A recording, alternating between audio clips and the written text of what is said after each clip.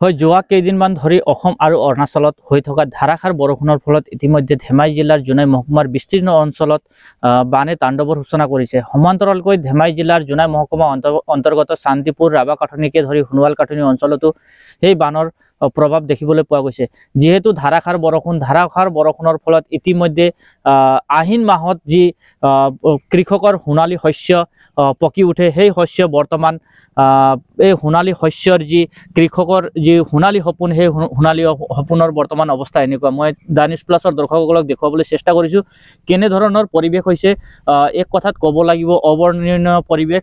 চাৰিওফালে কেৱল হাহাকাৰ কৃষকৰ মাজত হাহাকাৰ যিহেতু কৃষক ৰাইজে তেখেতসকলৰ সপোন লৈ যিহেতু সোণালী এটা সপোন লৈ তেখেতসকলে এই ধান ৰুবৰ বাবে বাৰিষাৰ সময়ত বহু কষ্ট কৰিছিল। সেই সেই বাৰিষাৰ ধান এতিয়া খৰালি কালত অহা হঠাৎ অহা এই বানপানীয়ে ধ্বংস কৰিবলৈ ধ্বংস কৰা দেখিবলৈ পোৱা গৈছে। মই মোৰ লগত কৃষক ৰাইজ আছে মই কথা পাতিবলৈ চেষ্টা কৰিম। বিশেষকৈ উল্লেখ কৰিব লাগিব যে সোণোৱাল কাঠনি ৰাবা কাঠনি তথা শান্তিপুৰকে ধৰি বিভিন্ন অঞ্চলত ইতিমধ্যে শ শ বিঘা খেতিভূমি এনেদৰে নষ্ট হৈ যোৱা পৰিলক্ষিত হৈছে।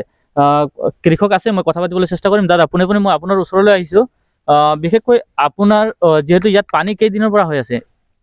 পানী এতিয়া পানী এতিয়া বৰ্তমান আজি চাৰিদিন হ'লগৈ চাৰিদিন ভিতৰত এতিয়াও পানী ইমানকৈ কমা নাই। বৰ্তমান এতিয়া আমাৰ যিমানখিনি ধান পকা আছিলে এইবিলাক ধৰি লওক গোটেই পানীটো ডুবি পিনি এতিয়া গজালি মেলিবলৈ ধৰিছেগৈ এতিয়া কি কৰিবা আৰু? উপায় নাই আমালোকৰ। খেতিয়সকলৰো কি কৰিব ন? এইটো বহু কষ্টেৰে আপোনালোকে বাৰিষা দিনত এই ধানটো ৰুইছিলে বহুত কষ্টেৰে। যিহেতু বান বান বিধ্বস্ত অঞ্চল এইখন বহুত কষ্টেৰে ৰুইছিলে। এতিয়া ধানটো সম্পূৰ্ণ পকি যোৱাৰ পাছত হঠাৎ এই আহিন আহিন মাহৰ অহা বানপানীৰ এনে অৱস্থা হৈছে। এই ক্ষেত্ৰত কি কয় আপুনি? এতিয়াতো কি ক'ব আৰু চৰকাৰৰ ফালৰ পৰা যদি আমালোকক অকণমান চাই দিয়ে তেতিয়াহ'লে আমি ভাল পালে হয় আৰু। এতিয়া কি কৰিবা আমাৰতো আৰু কোনো একো উপায় নাই। ঠিক তেনেকুৱা ধৰণৰ আৰু। কি কওঁ আৰু। হয় বিশেষকৈ ক'ব লাগিব যে এক দুখ লগা পৰিৱেশ মই পুনৰ এবাৰ দৃশ্যটো দেখুৱাবলৈ চেষ্টা কৰিছোঁ। আহ, অবৰ্ণনীয় পৰিৱেশ বিশেষকৈ কোৱা হয় যে কৃষকৰ যি সোণালী সপোন এই সোণালী সপো- সপোন আঘোণ মাহত কটা হয়। কিন্তু ইয়াত আহিন মাহতে তথা কাতিক মাহৰ আৰম্ভণিতে এই ধানসমূহ ঘৰত চপোৱা হৈছিল চপোৱা চপোৱা হোৱাৰ সম্ভাৱনা আছিলে কিন্তু বৰ্তমান সম্পূৰ্ণ পানীত গৈছে।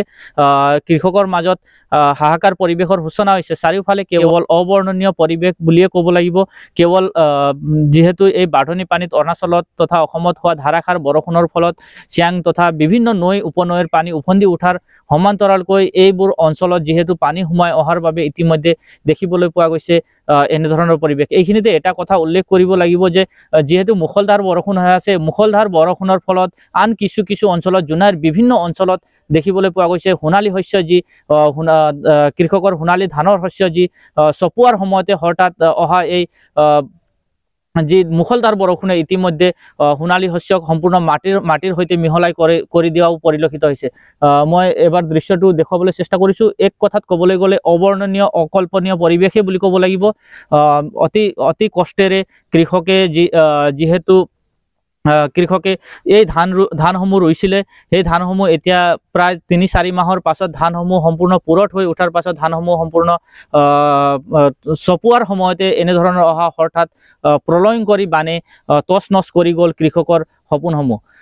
বিশেষকৈ দেখিবলৈ পোৱা গৈছে অকল ধেমাজি জিলাৰ জোনাই মহকুমাৰ প্ৰায় হাজাৰ হাজাৰ বিঘা কৃষিভূমি এনেদৰে এই- এইবাৰ অহা যি আহিনমহীয়া বানে তছ নছ কৰি যোৱা পৰিলক্ষিত হৈছে। জোনাইৰ পৰা মই Suraj Kumar Pandey the news plus.